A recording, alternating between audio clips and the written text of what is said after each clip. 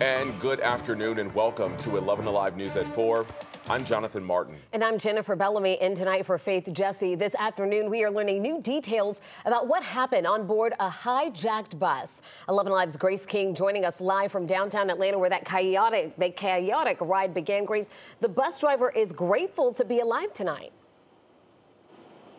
He really is. Ernst Antoine says that he stopped in downtown Atlanta off Ivan Allen Jr. Boulevard before driving for miles through parts of DeKalb and Gwinnett counties on that chaotic ride. Now, I spoke with his daughter, Karen Antoine, yesterday. She says her dad had decades of commercial driving experience that helped him navigate the bus through heavy traffic and police tactics designed to stop him. If he didn't drive, the gunman threatened to shoot Ernst and the other passengers on board.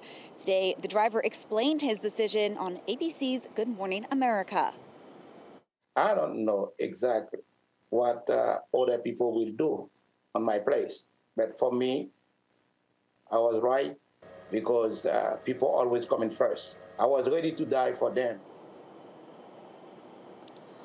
All of Gwinnett County's bus drivers are contracted through Transdev. In a statement, that company told 11 Alive that it's very proud of its operator for remaining cool under pressure under such challenging circumstances, and that his ability to remain calm and trigger the silent alarms on board the vehicle as trained helped contain that incident. They say their deepest sympathies are with the victim of Tuesday's tragedy.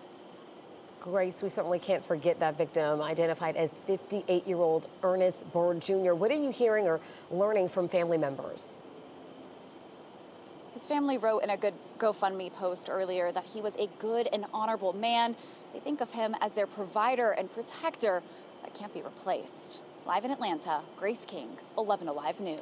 All right, Grace, we are certainly thinking about everyone impacted there. Uh, right now on our website, you can read more about the bus hijacking. You can find this story under the crime tab on 11alive.com.